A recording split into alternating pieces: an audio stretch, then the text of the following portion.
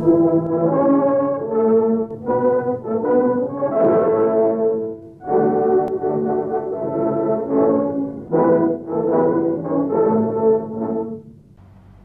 chào quý vị và các bạn. Bây giờ là thời lượng của chuyên mục An ninh Đà Nẵng, được phát định kỳ hàng tuần trên sóng của Đà Nẵng TV. Chuyên mục tuần này sẽ có những nội dung chính đáng chú ý sau đây. Bằng sự quyết liệt khẩn trương thần tốc, đến nay, về cơ bản Bộ Công an đã hoàn thành dự án cơ sở dữ liệu quốc gia về dân cư và dự án sản xuất, cấp và quản lý căn cước công dân theo đúng mục tiêu. Với tinh thần quyết liệt, các chốt phòng dịch đang phát huy hiệu quả là lá chắn sống giúp thành phố được an toàn, người dân được thực sự yên tâm. Tình trạng người dân thiếu ý thức, đốt cỏ rác không trông coi đã gây nên nguy cơ tiềm ẩn về việc mất an toàn phòng cháy chữa cháy, nhất là vào cao điểm nắng nóng như hiện nay. Dù có nhiều cảnh báo, nhưng tới nay vẫn tái diễn. Bây giờ, mời quý vị và các bạn cùng theo dõi nội dung chi tiết.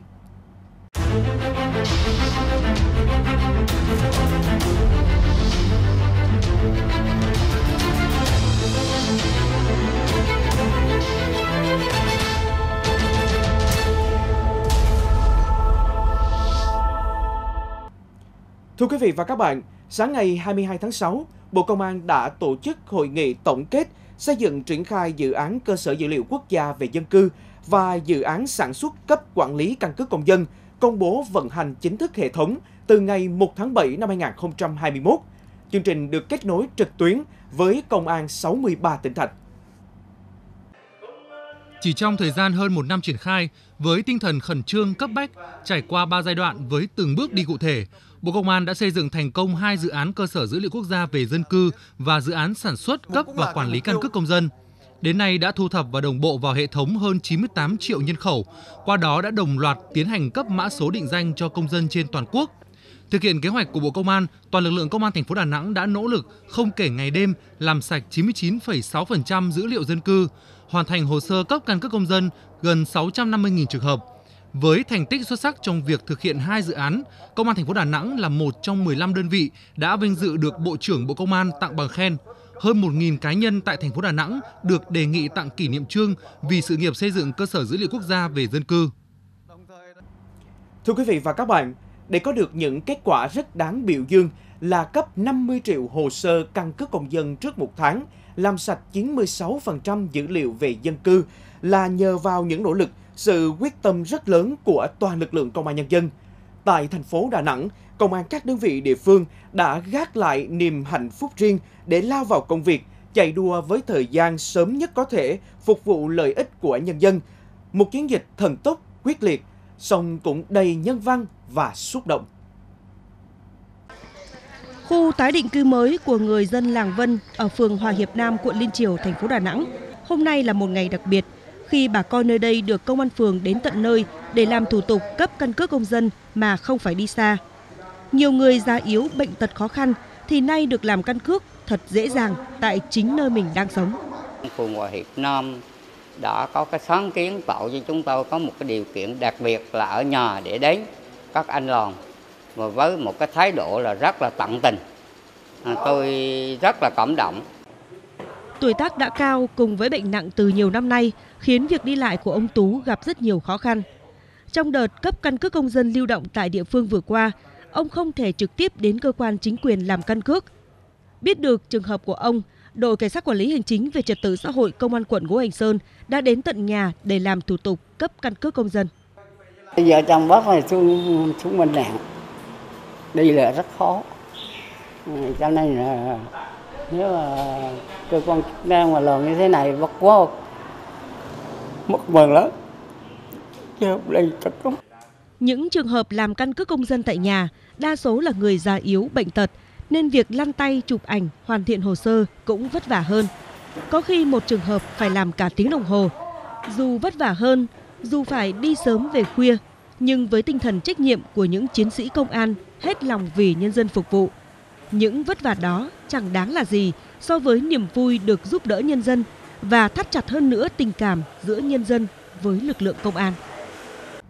Chuyển qua một số nội dung khác, chiều ngày 18 tháng 6, Thượng tướng Nguyễn Văn Sơn, Thứ trưởng Bộ Công an đã có buổi làm việc với Công an thành phố Đà Nẵng về công tác phòng chống dịch với trọng tâm là siết chặt quản lý người nước ngoài và đấu tranh với các đường dây nhập cảnh trái phép.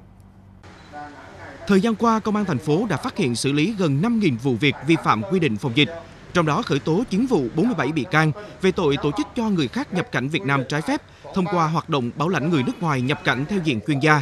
Tại buổi làm việc, Thứ trưởng Nguyễn Văn Sơn ghi nhận nỗ lực của Công an thành phố Đà Nẵng trong công tác phòng chống dịch Covid-19 thời gian qua, yêu cầu toàn lực lượng công an thành phố tiếp tục đẩy mạnh các giải pháp kế hoạch cụ thể nhằm đấu tranh, bóc gỡ các đường dây, tổ chức đưa người nước ngoài nhập cảnh trái phép, đồng thời tiếp tục tham mưu các cấp ngành thực hiện tốt công tác phòng chống dịch trên địa bàn.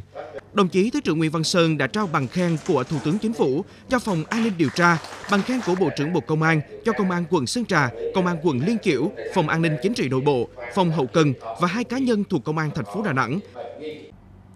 Thưa quý vị và các bạn, trước diễn biến mới nhất của tình hình dịch Covid-19, khi Đà Nẵng đã xuất hiện ca mắc trong cộng đồng,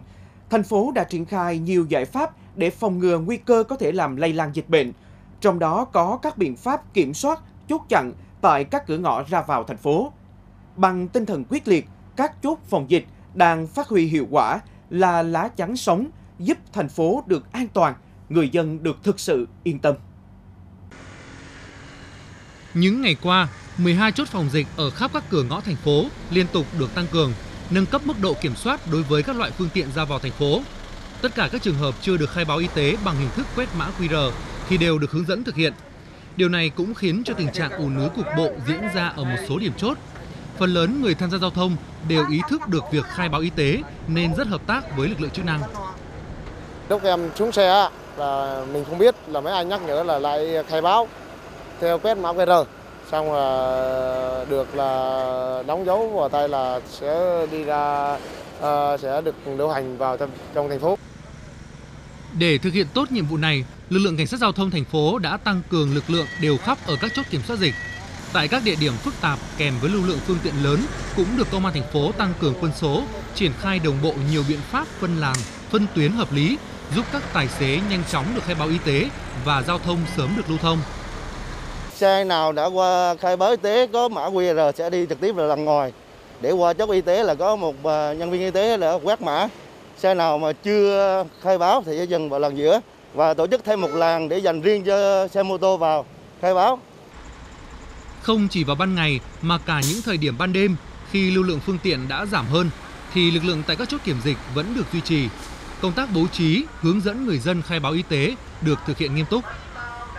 Làm việc với tài xế là cho hành khách là khai khai báo qua qua ốp để cho nó thuận lợi trong cái việc khai báo cho nó nhanh là giải phóng cái ủng tắc ờ, càng sớm càng tốt. Hiện tại tôi đang có mặt tại trạm kiểm soát dịch bệnh cửa ô Hòa Phước, thành phố Đà Nẵng, nằm trên tuyến quốc lộ 1A, đoạn giáp danh giữa xã Hòa Phước, huyện Hòa Vang, thành phố Đà Nẵng và thị xã Điện Bàn của tỉnh Quảng Nam. Bây giờ đã là gần 12 giờ đêm, nhưng các lực lượng chức năng ở đây vẫn đang nỗ lực căng mình để có thể kiểm soát chặt chẽ mọi phương tiện con người lưu thông từ phía Nam vào trong thành phố. Mặc dù bây giờ đã không còn là thời gian cao điểm, nhưng các lực lượng vẫn đang rất nghiêm túc thực hiện nhiệm vụ, không để bất cứ một trường hợp nào sót lọt đi qua chốt mà không được kiểm soát, đưa mục tiêu chống dịch lên hàng đầu. Có thể thấy, việc thiết lập và kiểm soát chặt chẽ các chốt kiểm dịch nơi cửa ngõ ra vào thành phố đang là một giải pháp hữu hiệu giúp phòng ngừa nguy cơ làm lây lan dịch bệnh xâm nhập vào nội thành.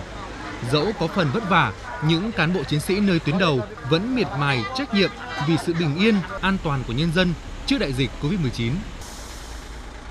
Tiếp theo là những tin tức an ninh trật tự đáng chú ý trên địa bàn thành phố Đà Nẵng trong tuần qua. Ngày 17 tháng 6, cơ quan an ninh điều tra công an thành phố Đà Nẵng tiếp tục tống đạt các quyết định khởi tố, bắt giam và khám xét khẩn cấp đối với 4 giám đốc doanh nghiệp về hành vi tiếp tay cho người nước ngoài nhập cảnh trái phép tại Việt Nam. Bốn đối tượng gồm Trần Thanh Sơn, 32 tuổi, giám đốc công ty trách nhiệm hữu hạn dịch vụ quảng cáo Start, Võ Tấn Cường, 33 tuổi, giám đốc công ty trách nhiệm hữu hạn Cuvaro, Đỗ Văn Hoạt, 29 tuổi, giám đốc công ty trách nhiệm hữu hạn Tiên học An Nhiên và Nguyễn Trung Thu, 38 tuổi, giám đốc công ty trách nhiệm hữu hạn Tour Media. Theo tài liệu điều tra, mặc dù không có nhu cầu sử dụng lao động người nước ngoài và biết số người nhập cảnh không phải là chuyên gia, nhưng do hám lợi nên cả bốn đối tượng đã cấu kết với một số đối tượng người nước ngoài để đứng ra bảo lãnh cho các công dân Hàn Quốc nhập cảnh Việt Nam trái phép theo diện chuyên gia. Khi đường dây bị phát hiện, số đối tượng trên còn có dấu hiệu trốn tránh hợp thức hóa hồ sơ để qua mắt cơ quan công an. Ngoài việc tạm giam Võ Tấn Cường và Trần Thanh Sơn, cơ quan an ninh điều tra cũng ra lệnh cấm đi khỏi nơi cư trú đối với Đỗ Văn Hoạt và Nguyễn Trung Thu. Ngày 20 tháng 6, cơ quan an ninh điều tra công an thành phố Đà Nẵng đã tống đạt quyết định khởi tố bị can và thực hiện lệnh bắt tạm giam Xue Xiaorong, 41 tuổi, quốc tịch Trung Quốc về hành vi ở lại Việt Nam trái phép. Mặc dù đã hết hạn thị thực, nhưng người này vẫn bất chấp ở lại Việt Nam.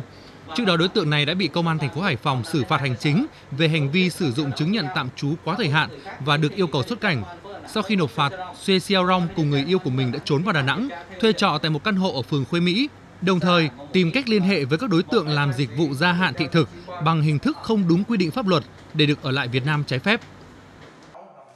Ngày 21 tháng 6, Văn phòng Cơ quan Cảnh sát điều tra Công an thành phố Đà Nẵng đã tống đạt các quyết định khởi tố bị can và ra lệnh cấm đi khỏi nơi cư trú đối với Nguyễn Quang Trọng, 29 tuổi, trú quận Hải Châu, là giám đốc công ty trách nhiệm hữu hạn quốc tế Amida về hành vi vi phạm quy định an toàn ở nơi đông người.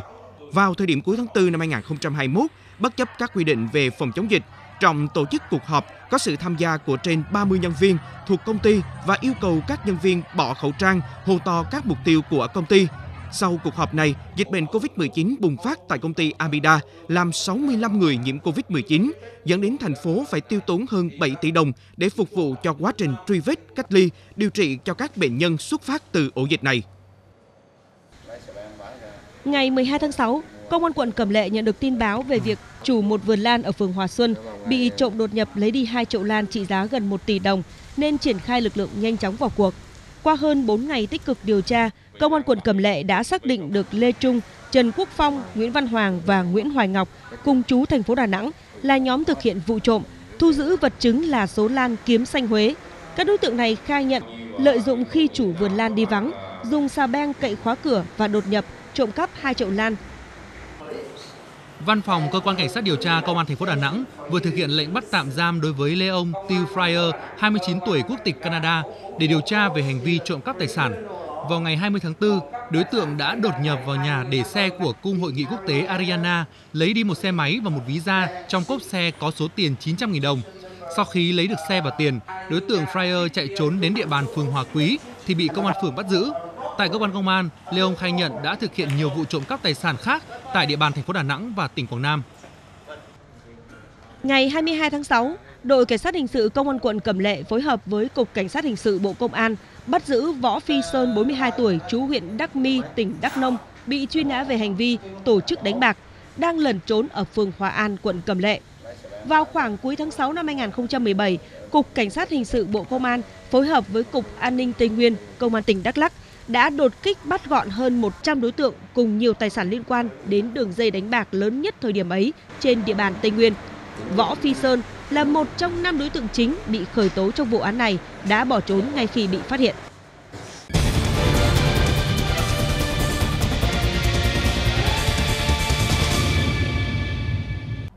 Thưa quý vị và các bạn, đốt cỏ, đốt rác là một thói quen của người dân muốn tiêu hủy một lượng lớn rác thải. Tuy nhiên, tình trạng người dân thiếu ý thức, đốt cỏ, đốt rác, không trông coi đã gây nên nguy cơ tiềm ẩn mất an toàn phòng cháy chữa cháy, nhất là vào cao điểm những ngày nắng nóng như thế này.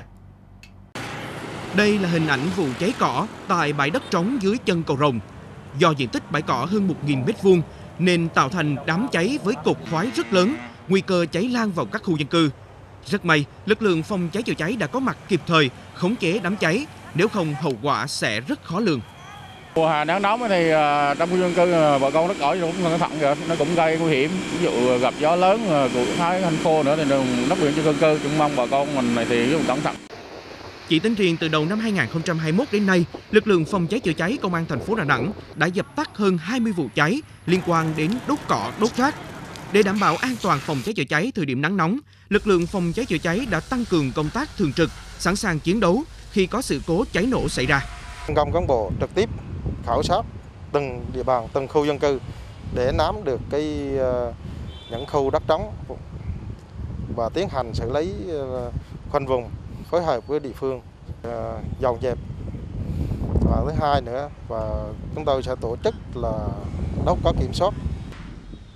Hiện nay, việc đốt rác đốt cỏ một cách bừa bãi vi phạm quy định phòng cháy chữa cháy vẫn diễn ra một cách khá phổ biến không chỉ gây ô nhiễm môi trường mà còn đe dọa đến sự an toàn phòng cháy tại các khu dân cư. Bên cạnh việc đẩy mạnh công tác tuyên truyền, nâng cao ý thức phòng cháy chữa cháy cho người dân, cơ quan chức năng cũng cần nghiêm khắc xử phạt các trường hợp cố tình vi phạm, nhất là trong mùa cao điểm nắng nóng hiện nay.